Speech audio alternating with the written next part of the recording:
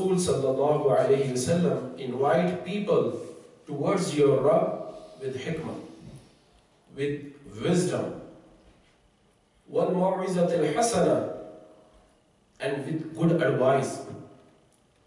وَجَادِلْهُمْ بِالَّتِي هِيَ أَحْسَنَ and when you argue, do argue in the way which is the best. إِنَّ the رَبَّكَ هو أعلم Indeed, your Rabb knows وأعلم بمن ضل عن سبيله who strayed away from the path of Allah subhanahu wa ta'ala and وهو أعلم بالمهتدين and your Rabb knows who is steadfast. So nothing is hidden from Allah subhanahu wa ta'ala. So Alhamdulillah, this ayah in which Allah subhanahu wa ta'ala teaching His beloved Rasul sallallahu alayhi wasallam because our Rasul is Rasul Ummi. Some people do translation, it's mean who had no knowledge. I mean, Billah, they say Ummi mean is uh, ignorant.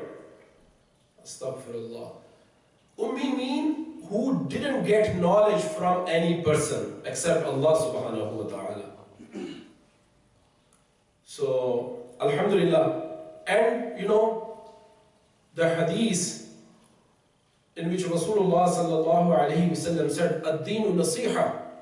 Ad-deen is a nasiha. Deen is itself nasiha. Nasiha has several meaning. Like one, we, we do nasiha, we advise someone, right? Sahaba kiram radwanullahi ta'ala alayhim ajma'in asked, Ya Rasulullah, قُلْنَا لِمَنْ Sahaba ikram radwanullahi ta'ala alayhim ajma'in said, we asked, Ya Rasulullah, to whom? Nasiha. Rasulullah sallallahu alayhi wa said, Lillahi. ولكتابه ولرسوله ولأئمة المسلمين وعامتهم سبحان الله So nasiha to Allah subhanahu wa ta'ala, to His book, Quran, to His Rasul sallallahu alayhi wa sallam, the ruler of Islam, and the common man. So the things come in mind.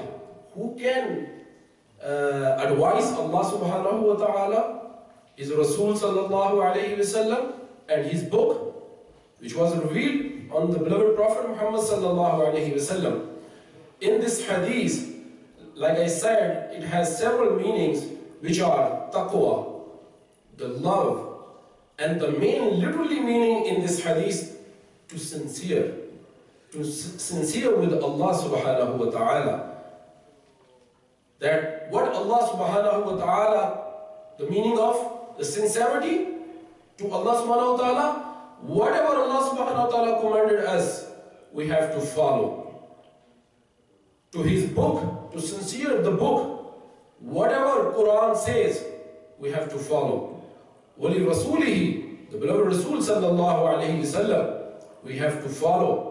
We have to do اتباع اتباع رسول صلى الله عليه وسلم because the اتباع the following of رسول الله صلى الله عليه وسلم is the following of Allah سبحانه وتعالى قل إن كنتم تحبون الله فاتبعوني يحببكم الله ويغفر لكم ذنوبكم. والله غفور. And ولي أئمة المسلمين and the ruler of the Muslims who, are, who is believer who is believer, who has fear of Allah subhanahu wa ta'ala, who follow Allah and His Rasul sallallahu alayhi wasallam, then we have to obey that ruler. And wa'amatahum, and the common man. So how can we be sincere to a common man? We have to, we have to look his uh, rights, حقوق العباد. We shouldn't cheat anyone or brother and sisters in Islam. So these are the things to be sincere with Allah, His Rasul, His book, and the rulers of Islam, believers, and the common man. So, subhanAllah, And uh, Ayyub Ansari said, we were on a journey, a man, Bedouin came and he asked, O Prophet of Allah, sallallahu alayhi wasallam, teach me, teach me the thing which take me near to the paradise and take me away from the hellfire. You know, Prophet sallallahu alayhi wasallam said, قال أن تعبد الله You worship Allah subhanahu wa ta'ala لا تشرك به شيئا and do not associate anyone with him. Do not do shirk. وتقيم الصلاة وتؤتي الزكاة Pray your salah in time. وتؤتي الزكاة Pay your zakat. The, the last one is وتصل الرحم Subhanallah. And be polite, be soft, treat kindly to other people. Subhanallah. This is the deen of Islam. So the hadith, one hadith reminds, reminds me that Umar ibn Khattab radiallahu ta'ala mentioned that hadith, one of the longest hadiths in Bukhari and Muslim. Umar radiallahu ta'ala said, we were sitting in the company of Rasulullah sallallahu alayhi wasallam. A man appears. Very famous hadith. A man appears. Look, the teaching of Islam. How Allah subhanahu wa ta'ala send the teaching of Islam towards the Ummah of Rasulullah sallallahu alayhi wasallam. So he said, we were sitting with Rasulullah sallallahu alayhi wasallam, man appeared. So we never seen him before. His clothes were extremely white. His hair were ex exceedingly black. So no journey on his face. So he sat in front of Rasulullah sallallahu alayhi wasallam with resting his knees, with adab, with respect, like we sit in the shahud. And he put his both hands on his palm. Uh, he put his palm on the on his thighs, with respect, like we sit in the shahud. And you know, he said, O Prophet of Allah, sallallahu alaihi wasallam, akhbirni anil Islam. Subhanallah. If you want to know the basic of Islam, you know, this hadith encompasses the all aspect of Deen Islam.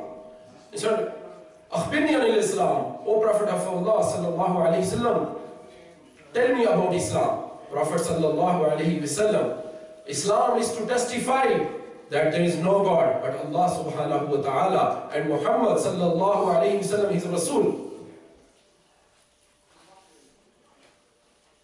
Like I mentioned the previous hadith, so similar words in this hadith. And then Prophet sallallahu alayhi wasallam said, وَتُقِيمُ الصَّلَاةِ وَتُؤْتِ الزَّكَاةِ وَتُحِجُّ الْبَيْتِ Perform Hajj if you are able to do. If you have resources, then you, you have to do uh, uh, Hajj, uh, Hajj Baytullah. And then Rasulullah sallallahu alayhi wasallam said, do jihad in the way of Allah subhanahu wa ta'ala. You know what he replied? He asked the question. He said, you had spoken truly. So Umar radiallahu said, we were amazed. This guy asking question and he's saying, it's true, uh, you said truly. So then he asked, أخبرني عن الإيمان. Subhanallah.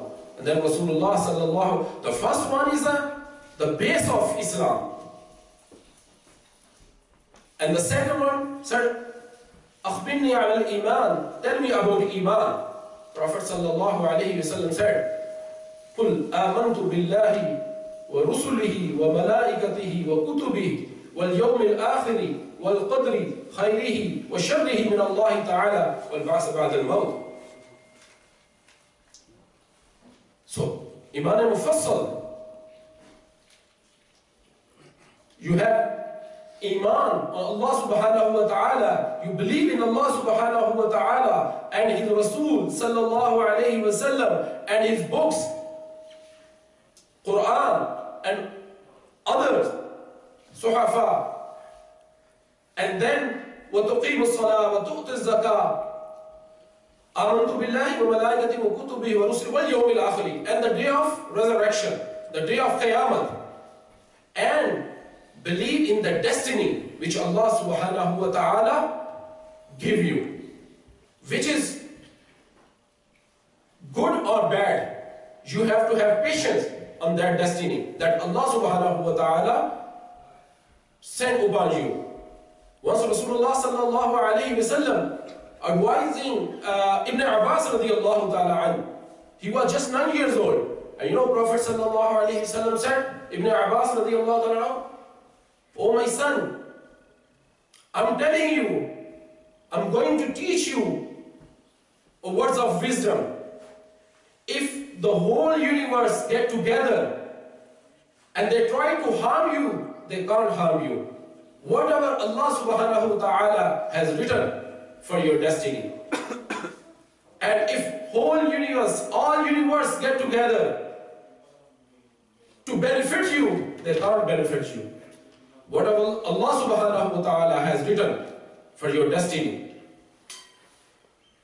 Subhanallah. And then you know Rasulullah sallallahu when uh, that man asked about Iman, Prophet sallallahu alayhi wasallam told. He said, truly, you said truly. And the, the third one, he said, Tell me about, O Prophet of Allah sallallahu alayhi wasallam, tell me about ihsan, anil ihsan. What is ihsan? Literally mean ihsan is favor. But here, ihsan mean, Prophet sallallahu alayhi wasallam said, ihsan mean when you worship Allah subhanahu wa ta'ala. So worship that you are seeing. When you worship, you think as you are seeing Allah subhanahu wa ta'ala. If you have not, if you have no ability to see, to see Allah subhanahu wa ta'ala, then think, then have iman that Allah subhanahu wa ta'ala seeing you. Do ibadah in this way. Because Hazrat Ali Karamullah Wajhul Kareem, he says, whenever I do sajda, I do ziyarat of my Lord. I do not do second sajda when I see by Allah subhanahu wa ta'ala. Do the ibadah in this way. Subhanallah. And then that man asked, Tell me about Qiyamah. Akhbirni anil Qiyamah. Prophet sallallahu alayhi wasallam said, The man who is asking this question, he knows well. But he said, O Prophet of Allah sallallahu alayhi wasallam, tell me the signs of Qiyamah. Subhanallah. Then Rasulullah sallallahu alayhi wasallam said, The signs of Qiyamah you will see and mistress will give birth to his Lord. Allah So what's the meaning of this? So, you know, this is true. It's meaning a mother who give birth, his son or daughter, her son or daughter, they will treat their mother like a servant, that like she's servant. Look, these days, how we talk our mother. So that's the meaning of that the mistress will give the birth her Lord. And then Rasulullah said, and you will see, then Prophet said about the Hijaz, about the Bedouin, he said, you will see the barefooted, destitute, the shepherd. What will, what will they do? They will compete to construct the lofty buildings. So we, we can see when we go to Makkah or Medina, we can see the buildings which touching the sky. This is true. So these are the signs of the Qiyamah. And you know, after this, that person left. So Rasulullah sallallahu alayhi wasallam asked, Umar said, oh, we sat there, and Prophet asked, oh Umar, did you know who was the questioner?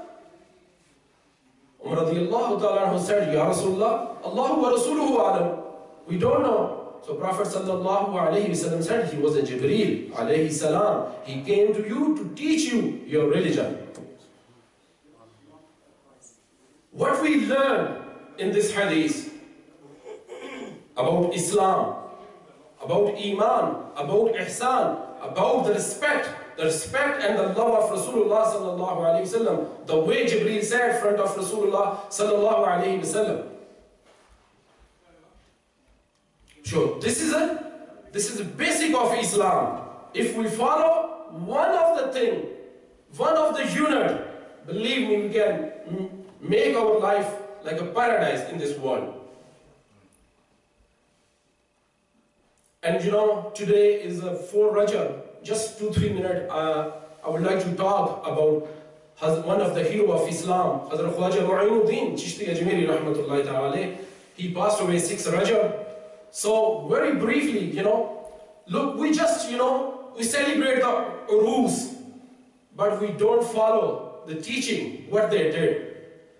I was, I was studying. He got study. He got education in 20 years.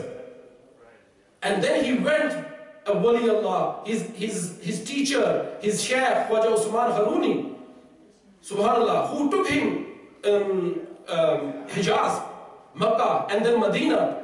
You know, Khwaja Muinuddin Chishti Ajmeri, rahmatullahi ta'ala, said in Sayyidul Arafin, his book, he said, I was in Medina. And you know what happened? He said, I was doing ibadat in Masjid al-Nabawi sallallahu alayhi wasallam, and you know, I sleep there. So in my dream, Rasulullah sallallahu alayhi wasallam came, subhanallah.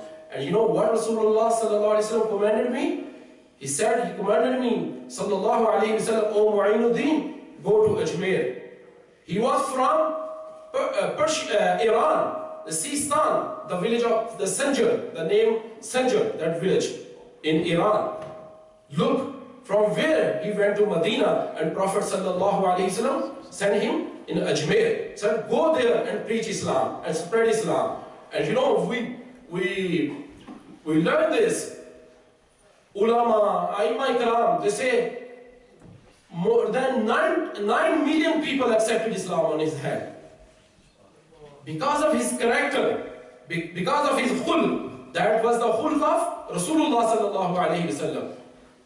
Because they were the true follower of Rasulullah sallallahu alayhi wasallam. That's why Allah subhanahu wa ta'ala granted him, blessed him. The people, whoever uh, talked to him, he accepted Islam. And you know, that time there was a Hinduism there. So everyone teaching Hindu, Hinduism or, you know, the yogi, uh, the magic, um, the magician. But Allah subhanahu wa ta'ala blessed his banda. Quran says, Allah inna awliya Allahi la khawfun alayhim wa la hum yahzanun. And on the another verses in which Allah subhanahu wa ta'ala says, Allahu waliyyu lazina amanu. Awliya Allah is a friend of Allah subhanahu wa ta'ala. Uh, Allah is a friend of awliya Allah. Subhanallah. That hadith, hadith Qudsi, ما يزال عبدي يتقرب إلي بالنوافل. My banda become my mahbub with ibadat, with volunteer ibadah. حتى أحببته. And he, he become a beloved of Allah subhanahu wa ta'ala. And then what happened? فَكُنْتُ السَّمْعَهُ الَّذِي يَسْمَعُ بِي that's a long uh, hadith. then I become his sama'at, his hearing, I become his eyes. Allah subhanahu wa ta'ala is pure from these things. But the power behind Allah subhanahu wa ta'ala. And the lastly, you know, his, his sheikh side, because he was a murid of Khwaja Usman Haruni. Some people call him, mostly people call Haruni, Usman Haruni, but that village was the Harwan. So Khwaja Usman Harwani. And his sheikh is Haji Sharif Zindani. You know, who said his murid Khwaja, look, the character, I'm going to finish after this. He said, okay, after Asr to Maghrib, he said Khwaja Usman Haruni, Khwaja uh, Sharif Zindani, rahmatullahi ta'ala this time whoever, only I'm telling you, I will sit, whoever sees me, he with the fadl of Allah subhanahu wa ta'ala, he will get Jannah. So who, if you tell someone, then it could be alternate. He said, he get permission. Can I tell my murid, Khwaja Muinuddin Chishti Ajmeri? He said, okay, you are allowed to tell him. You know what he did? He told Khwaja uh, Muinuddin Chishti Ajmeri, rahmatullahi ta'ala, So Khwaja Mu'inuddin Chishti Ajmeri announced in the whole valley, come this time, so do ziyarat of Wali Allah. So all people came there. You know, Khwaja Subhanallah asked, I told you, don't tell anyone, it's a secret. You know, Sheikh said, if you tell anyone, she will go to Jahannam. He said, look the hulk, look the zarf. He said, yes, I want to be a loser here because I want the thousands of the follower of Rasulullah sallallahu alaihi wasallam, the ummah of Rasulullah sallallahu alaihi wasallam, go to Jannah. If I go to Jahannam, it's not a. I think it's. I'm not a loser then. So this is the whole of who think always for others. That's why Islam, you know, the humanity to think for others. That's the teaching of Islam. Make dua may Allah subhanahu wa ta'ala grant us ease and goodness and make us of those who follow Quran and Sunnah